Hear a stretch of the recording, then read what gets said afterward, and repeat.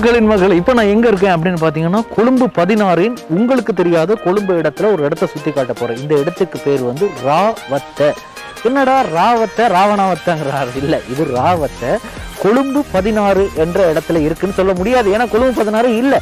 இது கொழும்பு பதினஞ்சில் இருக்குது அதாவது கொழும்பு பதினஞ்சு மட்டக்குடியில இருந்து கொஞ்சம் அப்படியே நம்ம உள்ளால வரும்போது இது இருக்குது என்னடா யாருமே இல்லாத இடத்துல நீங்க மாஸ்க் போட்டுட்டு இருக்கீங்களே முகக்கவசம் போட்டுட்ருக்கீங்களேன்னா இது முகக்கவசம் போட வேண்டிய நேரத்தில் படமாக்கப்பட்டதால் முகக்கவசம் போட்டுருக்கோம் ஒரு கிராமத்துக்கு பக்கம் போனோம்னா அங்கே எல்லா எல்லா மரங்களும் இருக்கும். அதாவது எல்லா மரங்களும் நான் சொன்னது பல வகைகள் மரக்கறி வகைகள் எல்லாமே இருக்கும். ஆனால் கொழும்புல இப்படி ஒரு மரங்கள் எல்லாம் இருக்கக்கூடிய இப்படி ஒரு பிரதேசம் இருக்குன்னா ஒரு சூப்பரான ஒரு இடத்தை நாங்கள் உங்களுக்கு காட்டியிருக்கோம் தானே அர்த்தம். எனவே இந்த இடத்துல நிறைய விஷயங்களை சுற்றி பார்க்கலாம். வாங்க.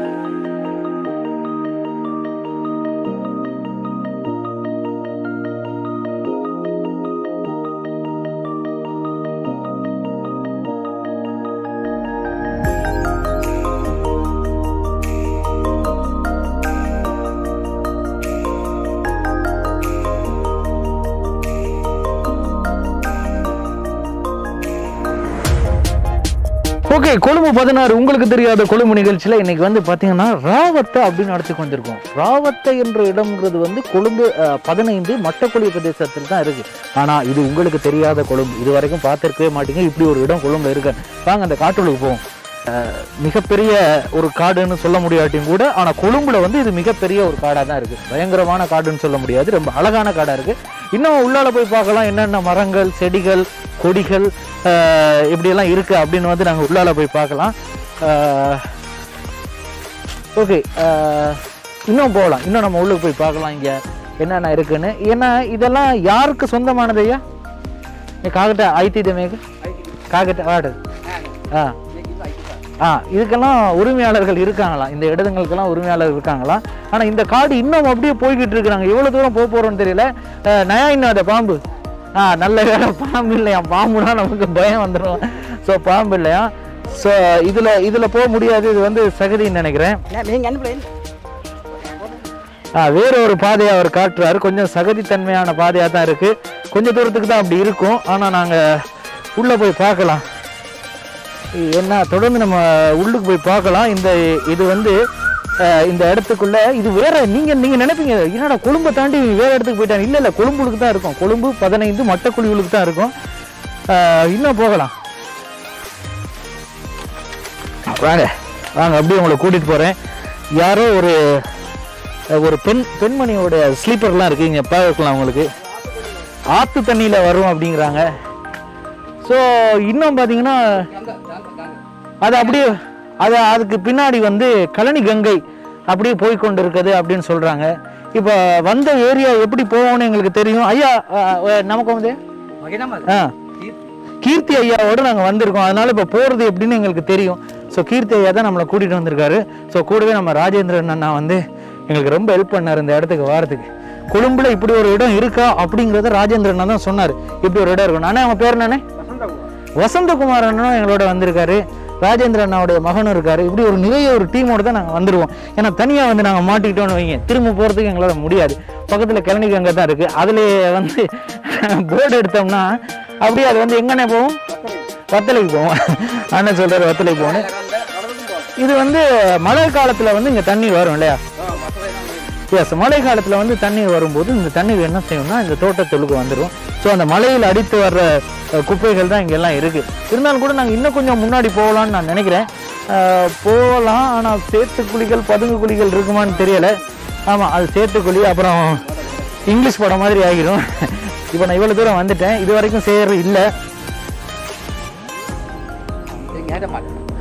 இதுக்கு அங்கால வந்து நமக்கு போக முடியாது. காரணம் என்னன்னா அதுக்கு அங்கால வந்து ஒரு வேலி மாதிரி இருக்குது அதுக்கு அங்கால பார்த்தீங்கன்னா கழனி கங்கை இருக்குது ஸோ அதனால நம்ம அவ்வளோ ரிஸ்க் எடுக்க வேணாம் அப்படின்னு நினைக்கிறேன். ரிஸ்க் எடுக்கலாம் நமக்கு. ஆனால் எதுக்கு ரிஸ்க் எடுக்கணும் அப்படின்னு நினைக்கிறேன். எனக்கு கீர்த்தியை வேறு சொல்கிறாரு அதுக்கு அங்கிட்டு போகாதீங்க. அங்கிட்டு பார்த்தீங்கன்னா அங்கே வந்து உங்களுக்கு அங்கே என்ன இருக்குங்கிறாரு அங்கே வந்து சேரு இருக்குது அந்த சேருளுக்கு கால் போயிடுச்சுன்னா அப்புறம் நீங்கள் அப்படியே கீழே போயிடுவீங்க அஹ், கீ ஆ முதலைக்குன்னு இருக்கான். ஆஹா இப்போதான் நம்ம வசந்தகுமார் அண்ணே முக்கியமான மேட்ருக்கு வந்திருக்காரு. முதல்ல எங்கடா இவ்வளோ பெரிய காடா இருக்கு முதலே காணணும் பாரு. இங்கே தான் வருமா? வருமா? வாங்க இங்கேருந்து நாங்கள் எஸ்டேப் பண்ணிடுவோம். ஆமா சாப்பாரு அப்புறம் வேற என்னென்ன இருக்கு? ஆ இத்தியாவோ முள்ளம்பண்டி இருக்கு ஆஹா சொல்லவே இல்லையே. திவ்யா. திவ்யானா என்னண்ணா தமிழ்ல? புலியில ஆ சிறுத்தை குட்டியில சின்னதெல்லாம் இருக்கா ஐயா எனவே இந்த மாதிரி எல்லா விதமான மிருகங்களும் அப்பப்போ வந்துட்டு போய் எமதாவனானே இதுல வேணாம். ஆ அவங்க வந்து விசிட் அடிச்சுட்டு போவாங்க. இப்போ நாங்கள் எப்படி விசிட் அடிச்சுட்டு போகிறோமோ அது மாதிரி அவங்களும் வந்து விசிட் அடிச்சு போவாங்க. ஸோ இந்த பக்கம் போகலுமா அப்படின்னு கீர்த்தியாட்ட கேட்போம். கீர்த்தியா அதே மாதிரி கத் இதே மாதிரி என்ன? அதே மாதிரி தான் இருக்கு அப்படிங்கிறாரு. ஸோ இந்த பக்கமும் அதே மாதிரி தான் இருக்குன்னு. ஆனால் நீங்கள் யோசிப்பீங்க என்னடா கொழும்புல வாகன நெரிசல் இருக்கு. மக்கள் வந்து ரொம்ப நெரிசலான பகுதியில் வாழ்றாங்க. அதுக்குள்ள எப்படி இப்படி ஒரு இடம்? ஏன் அந்த நெரிசல்ல உள்ள மக்கள்லாம் இங்கே கொண்டு வந்து வைக்கலாமே? அது நம்ம வேலை கிடையாது. சரியா அது நம்ம வேலை கிடையாது. இருந்தாலும் கூட அஹ், இவ்வளோ ஒரு அழகான அஹ், அதாவது இயற்கையான ஒரு இடம். அதாவது குறிப்பாக பார்த்தீங்கன்னா கொழும்புல இருந்து வெளியில போனால் தான் இப்படி இடங்கள்லாம் நம்ம பார்க்கலாம். ஆனால் இங்கே வந்து இவ்வளோ அழகான இடங்கள் பார்க்குறோமே அது ஒரு ஒரு இது ஒரு வாய்ப்பு கிடைச்சிருக்கு உங்களுக்கு. எல்லாமே கொழும்பு பதினாறு உங்களுக்கு தெரியாது கொழும்புல தான். வாங்க தொடர்ந்து போம்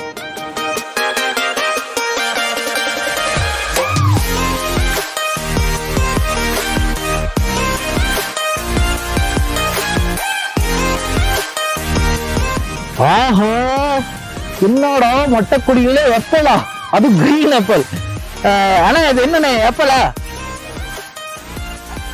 கதிர் அதைத்தானே பார்த்தேன். எப்பல் ஆஹா இதை வச்சு நம்ம முன்னேறிடலாம்னு பார்த்தா இது எப்பல் கிடையாது. ஐயோ எப்பல் இருக்குதா இங்க இருக்கு அப்படிங்கிறாங்க. இது கதிர்வு நேதையே கதிர்வுன்னு சொல்லி ஒரு காயம். எனக்கு கண்ட புள்ள அவங்க கேட்டிதானே?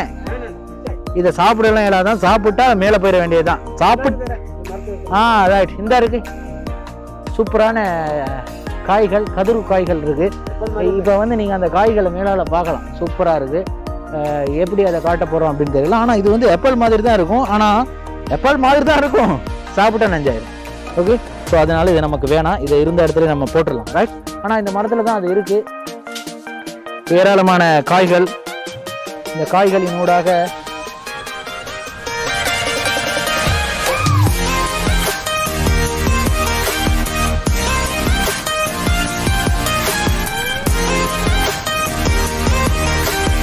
வந்து சகோதர சிங்கள மொழியில வந்து கெராங் கொக்குங்கிறாங்க கெராங் கொக்குவான் தமிழ்ல வந்து மீனாவான். மீனாவை நடிகை மீனா இல்லை சும்மா மீனா. ஸோ இந்த மீனாவை வந்து எப்படி செய்யணும்னா இதை கட் பண்ணி நம்ம கீரை சுண்டுவோம்ல கீரை சுண்டமாக சுண்டுட்டு எண்ணெய்லாம் போட்டு அப்படியே வதக்கி எடுத்து சோறோட சாப்பிட்டா அருமையாக இருக்கும்னு சொல்கிறாங்க இதில் நம்ம வந்து ட்ரை பண்ண மாட்டோம். ஏன்னா விஷ பரீட்சை அப்படின்னு சொல்லி நம்ம ட்ரை பண்ண மாட்டோம். ஆனால் இது ஒரு மூலிகையான உணவு விளையாடு நல்ல ஒரு மூலிகையான உணவு எந்த விதமான கெமிக்கலும் அடிக்காதது. ஆனால் இப்படி உள்ள காடுகளில் வந்து இப்படி பொருட்கள் எல்லாம் கீரைகள் எல்லாம் எடுத்து சாப்பிடுவாங்களா அப்படிங்கிறது ஒரு டவுட்டான விஷயம் தான். ஆனால் இன்னும் மக்கள் வந்து இதை சாப்பிட பழகலை. ஸோ நம்ம அப்படியே போய் பார்ப்போம். ஆஹா வீடுகள் இருக்க மாதிரி தெரியுது. இன்னும் இந்த காடுகள் உள்ளுக்கும் வீடுகள் இருக்கா? ஐயோ காடுகள் உள்ளுக்கு தானேயா வீடுகள் இருக்கும். வீடுகள் தானே காடுகளாக மாறி இருக்கிறது அன்றைய காடுகள் வந்து இந்த வீடுகளாக மாறி இருக்குது சரியா? அப்ப வீடுகள் வந்து இனி காடுகளாக மாறாது. குழப்பம் இல்லை இது கமலாசனே பரவாயில்லையா? வாங்க இப்போ வந்து நாங்க எங்க போறோம் அப்படின்னா வீடுகள் உள்ள இடத்துக்கு போறோம். இந்த காடுகள்ல கொஞ்சம் வீடுகள் இருக்கு வாங்க இந்த காடுகளுக்கு வந்து நிலம் முழுக்க என்னடா ஓட்டைகளாக இருக்குது துவாரங்களாக இருக்குதுன்னு பார்த்தா நண்டு. ஆத்து நண்டானே ஆத்து நண்டு. நண்டுனா அந்த எல்லா கால் இருக்க நண்டு தானே? ஆ ரைட். அந்த நண்டு வந்து அவர் வந்து இப்படி தோண்டி தோண்டி வச்சிருக்காரு. அப்பப்போ அவருக்கு எப்போ தேவையோ இங்க வந்து வெளியில வந்து வெளியில வந்து உள்ளுக்கு போயிடுவாரா அப்ப உள்ளுக்கு இருக்காங்க.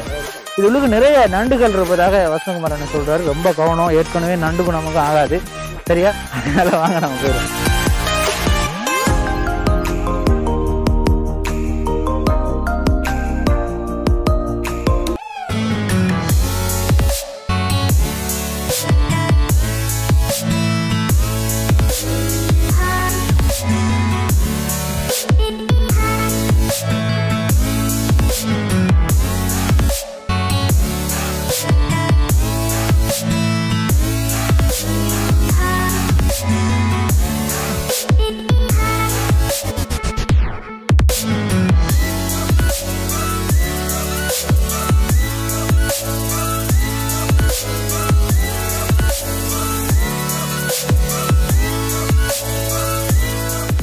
என்னதான் நீங்கள் கொழும்பு பதினாறுக்கு போனீங்களா இல்ல விண்வெளிக்கு போனீங்களான்னு கேட்குறீங்க தானே? இல்ல. இது வந்து பாத்தீங்கன்னா ஒரு அழகா இருந்தது. இந்த மரத்துக்கு மேலே ஏறணும் அப்படின்னு நான் முடிவு பண்ணிட்டேன் கொழும்பு பதினாறு என்று சொல்லும்போது பார்த்தீங்கன்னா உங்களுக்கு தெரியாத கொழும்பை தானே காட்டிட்டு இருக்கோம். உண்மையிலே இந்த இந்த நிகழ்ச்சியை வந்து கொழும்புல எத்தனை பேர் பார்த்துக்கிட்டு இருக்கீங்க அப்படின்னு எங்களுக்கு தெரியாது. இருந்தாலும் கூட கொழும்புல உள்ளவங்களுக்கு அது இப்படி ஒரு இடம் இருக்கா? இது எங்க இருக்கு? அப்படின்னு யோசிப்பீங்கல்ல. அப்படி உங்கள் அனைவரையும் யோசிக்க வைக்கக்கூடிய ஒரு இடம் தான் இந்த கொழும்பு பதினாறு என்ற நிகழ்ச்சியில இன்னைக்கு கொண்டு வந்திருக்க ராவ வத்த ராவத்தை. சரி ராவத்தை ராவத்தங்கிறீங்களே ராணா என்ன வத்தனா என்ன? ஆனா அந்த ஏரியாவுக்கு என்ன எப்படி பேர் வந்தது?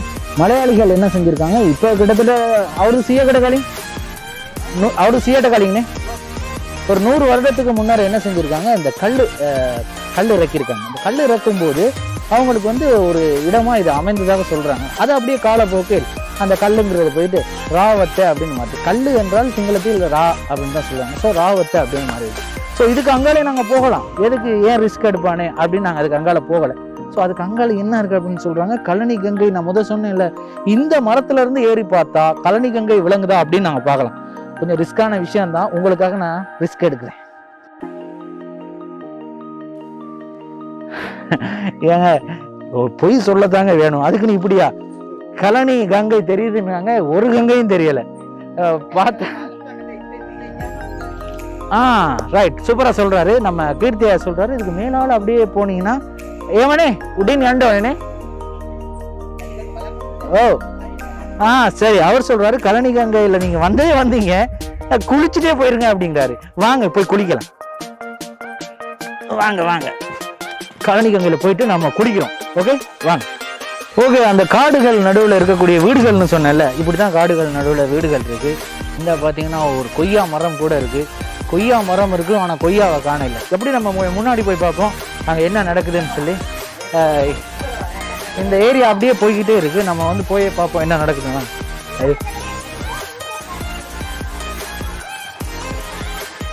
இப்போ வந்து நம்மளை வந்து கீர்த்தி எங்க கூட்டிட்டு போறாருன்னா கழனி கங்கைக்கு கூட்டிட்டு போறாரு. இதுக்கு பின்னாடி கழனி கங்கை இருக்குன்னு சொல்றாரு. நம்ம போய் பார்ப்போம் கழனி கங்கை இருக்குதான்னு. வாங்க. ரைட் நாங்க கழனி கங்கைக்கு போக எடுத்த முடிவுனா எப்படிப்பட்ட முடிவுன்னு எங்களுக்கு தெரியல. ஆனா இந்த பாதை வழியா தான் போகணும். கொஞ்சம் வாங்க நிதர்ஷன். நிதர்ஷன் வந்து அந்த பாதையை காட்டுவாரு. இதுல தான் நம்ம கழனி கங்கைக்கு போறோம். ஆமா அவங்களுக்கு இந்த வழியை காட்டிட்டோம்ல. இதோட போவோம். வாங்க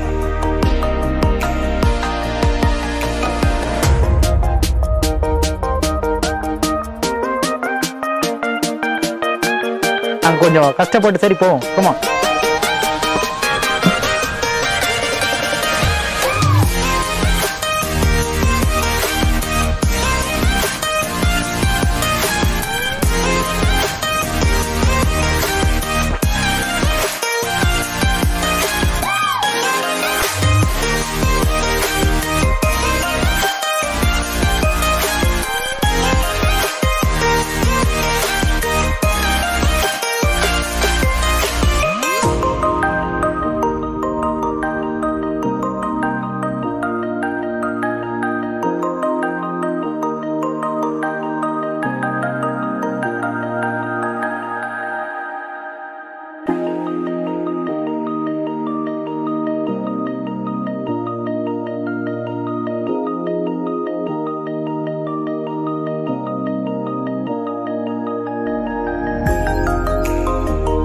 என்ன சொன்னாரு? கழனி கங்கைக்கு எங்களை கூட்டிட்டு போறதா? கழனி கங்கை பக்கத்திலே வந்துட்டோம். வாங்க. எப்படியும் நம்ம போற நேரம் இங்கே தான் கழனி கங்கை இருக்கு. இதோ நீங்க ஆவலுடன் எங்கடா கழனி கங்கை எப்படா காட்டுவீங்க அப்படின்னு நீங்க தேடிட்டு இருந்தீங்க. ஸோ கழனி கங்கை இங்கே தான் இருக்கு. ஸோ இதுக்கு பக்கத்துல தான் கழனி கங்கைக்கு ரொம்ப பக்கத்துலேயே நம்ம வந்துட்டோம். ஸோ கீர்த்தி ஐயாவும் வந்திருக்காரு. ஸோ கழனி கங்கை வந்து நம்ம மலைகளின் பின்னாடி பார்த்த கழனி கங்கை தான் இங்க இருக்கு. ஸோ மலைகளின் பின்னாடி பார்த்த கழனி கங்கை தான் இங்கே இருக்கு. ஸோ இந்த மழை காலத்தில் வந்து நீதை ரசி வத்துருவேன் மேலே. ஆ சுனாமி கூட வந்திருக்கு அப்படின்னு சொல்லி நம்ம கீர்த்தியா சொல்கிறாரு அதாவது அதாவது பார்த்தீங்கன்னா இந்த தண்ணீர் வந்து மழை காலத்தில் வந்து இங்கே வந்துடும் பாதைகளுக்குள்ளெல்லாம் வந்துடும் வீடுகளுக்கெல்லாம் வந்துடும் ஸோ மக்கள் வந்து ரொம்ப அவதானத்தோடு அவதானத்தோட தான் இந்த பகுதியில் இருக்காங்க. கொழும்பு பதினாறு நிகழ்ச்சியில் இதுக்கு முதல் நாங்கள் பல இடங்களுக்கு போயிருக்கோம். ஸோ இந்த இடம் வந்து கொஞ்சம் வித்தியாசமான இடம். ஏன்னா இரண்டு மாவட்டங்கள் வந்து உங்களுக்கு வந்து இப்போ பிரியுது. எப்படின்னு பார்த்தீங்கன்னா இதுக்கு இங்கால வந்து கொழும்பு மாவட்டம். ஸோ அதுக்கு அங்கால வந்து கம்பகா மாவட்டம் கம்பகா மாவட்டம்னா உங்களுக்கு தெரியும். வத்தலை போன்ற பிரதேசங்கள்லாம் அதுக்கு அந்த பக்கம் இருக்கு. அப்போ நான் வத்தலை ஏக்கித்த போன்ற பகுதிகள் எஸ் இந்த மாதிரி உள்ள பகுதிகள் எல்லாமே அதுக்கு அங்கால இருக்குது ஸோ இந்த பகுதியிலேருந்து அந்த பகுதிகளுக்கு நாங்கள் பாலத்துலேயும் போகலாம். இந்த மாதிரி போர்டு வழியாக கூட போகலாம். ஆனால் இங்கே போர்டெல்லாம் இல்லை. உங்களுக்கு எஸ் போர்டெல்லாம் இருக்குது. ஆனால் இப்போ வந்து போர்டெல்லாம் போர்டிலலாம் உங்களுக்கு போக முடியாது. இப்போ வந்து உங்களுக்கு போகிறதா இருந்தால் நீங்கள் வாகனத்தில் தான் போகணும். ஆனால் இது வந்து ஒரு ஒரு வித்தியாசமான ஒரு ஃபீலிங் ஏன்னா இப்போ நாங்கள் வந்து ஒரு டிஸ்ட்ரிக்டில் இருக்கோம் அங்கே இன்னொரு டிஸ்ட்ரிக்ட் இருக்குது இப்போ இந்த ரெண்டு டிஸ்ட்ரிக்டையும் இந்த கழனி கங்கை தான் பிரிச்சிருச்சு அப்படின்னு சொல்லுவோம் கங்கைகள் பார்த்தா நிறைய விஷயங்களை சேர்த்து தான் வைக்கும். ஆனால் இந்த கங்கை பிரிச்சிருக்கு நாங்கள் நிறைய விஷயத்தை பார்க்கணும்.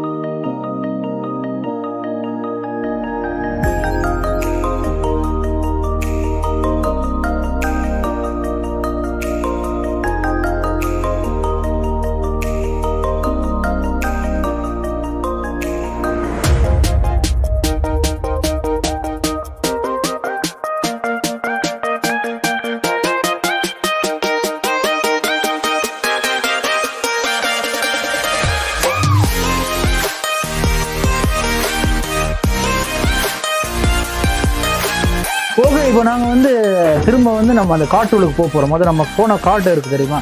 ஸோ அந்த காடுகளுக்கு நாங்கள் போக போகிறோம் இதுகளுக்கு தான் அந்த காடு வழி. காட்டு வழி போகிற உள்ள கவலைப்படாத. ஸோ அந்த பாடம் படிச்சுக்கிட்டே அப்படியே வந்து நாங்கள் காட்டு வழியில் போய்கிட்டு இருக்கோம் ஸோ அந்த காட்டு வழி வந்து காட்டு வழியோடு தான் நாங்கள் போகணும். வேறு வழியில் இடையில் இடையில தம்பி ஒருத்தர் வந்துட்டார். ஹலோ ஹாய் அவர் ஒரு தம்பி ஒருத்தர் வந்துட்டார். ஸோ நம்ம அப்படியே நம்ம போய்கிட்டு இருக்கோம். இந்த காட்டு வழியோட எங்களுடைய பயணம் நாங்கள் காட்டு வழியோடு தான் வந்தோம். ஸோ காட்டு வழியோடு நாங்கள் போய்கிட்டு இருக்கோம்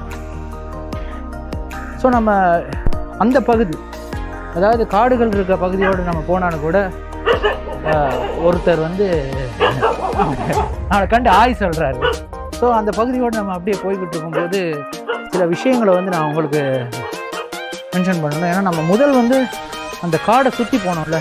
இப்போ வந்து காடை சுற்றி போகாமல் நம்ம அப்படியே இந்த பக்கம் வந்துக்கிட்டு இருக்கோம்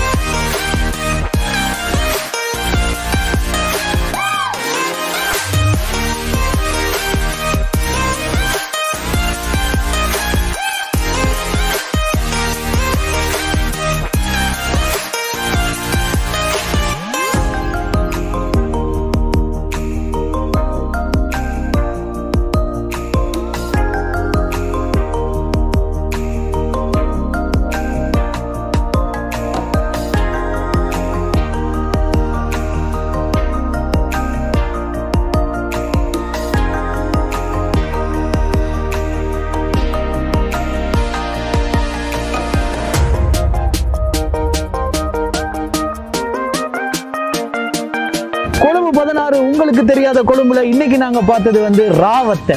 ஸோ ராவத்தைக்கு போனோம். அங்கே என்ன மாதிரி ஆக்கள் இருக்காங்க? என்ன மாதிரி மக்கள் இருக்காங்க? என்ன மாதிரி காடுகள் இருக்குது அந்த காடுகளுக்கெல்லாம் என்ன இருக்குது காடுகளுக்கெல்லாம் என்னென்ன மரங்கள் இருக்குது இப்படி நிறைய விஷயங்களை வந்து உங்களுக்கு கொண்டு வந்த ஒரு நாளாக இன்றைய கொழும்பு பதினாறு அமைந்திருந்தது. ராவத்தை மாதிரி நிறைய இடங்கள் வந்து கொழும்புல இருக்குது. அந்த இடங்களுக்கெல்லாம் உங்களை கூட்டிகிட்டு போகணும்னு எங்களுக்கு ஆசை தான் வாரம் வாரம் ஒவ்வொரு இடத்துக்கு கூட்டிகிட்டு போகிறதுக்கு நாங்கள் பிளான் பண்ணியிருக்கோம். எனவே கொழும்பு பதினாறு நிகழ்ச்சியை தொடர்ந்து பாருங்கள் உங்களுக்கு தெரியாத கொழும்பு நிகழ்ச்சியில் உங்களுக்கு ஒரு வித்தியாசமான கொழும்பை காட்டுறதுக்கு நாங்கள் தயாராக இருக்கோம். ஏன் டயர்டாக இருக்குன்னு பார்த்தீங்களா இவ்வளோ தூரம் ஏறி வந்தால் டயர்டாக இருக்காதா? சரி பரவாயில்ல. இன்னும் ஒரு நிகழ்ச்சியில் உங்களை கண்டிப்பாக சந்திப்பேன் என்ற நம்பிக்கையில் விடைபெறப் போகின்றேன். கேமராவில் தொகுப்பில் சிறப்பாக உதவிய நிதர்ஷனுக்கும் பவித்ரனுக்கும் மிகப்பெரிய நன்றிகளை தெரிவித்துக் கொண்டு மற்றும் ஒரு டேன் தமிழொலியின் கொழும்பு பதினாறு நிகழ்ச்சியில் சந்திக்கிறேன்.